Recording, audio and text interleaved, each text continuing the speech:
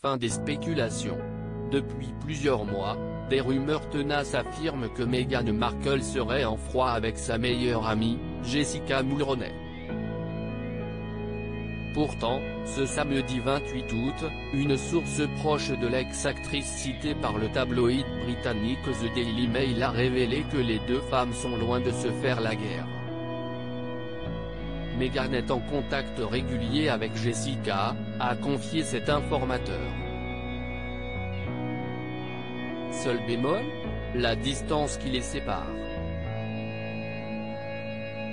En effet, alors que la duchesse de Sussex poursuit sa reconversion loin de la monarchie à Los Angeles, Jessica Mulroney, elle, réside au Canada.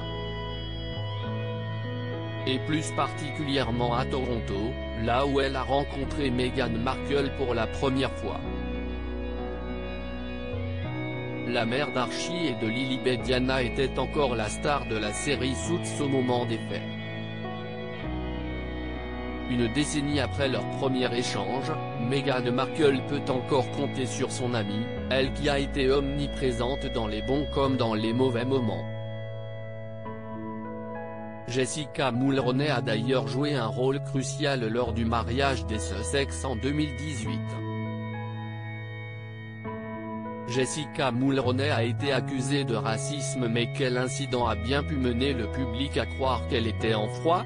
Tout a commencé en juin 2020, lorsqu'une influenceuse afro-américaine du nom de Sacha Exoté a encouragé ses abonnés Twitter à prendre position pour le mouvement Black Lives Matter, à la suite de la mort de George Floyd. Elle a ensuite accusé Jessica Mulroney, qui n'aurait pas répondu à cet appel, de l'avoir menacée de la dénigrer. Écoutez, je ne dis pas que Jess est raciste, mais voici ce que je vais dire, elle est très consciente de sa richesse, de son pouvoir et de ses privilèges qui découlent de sa couleur de peau, témoignait la jeune femme. Scène est suivi un long scandale. Jessica Mulroney a notamment perdu son émission Aidou, Redo, diffusée sur l'antenne de la chaîne CTV.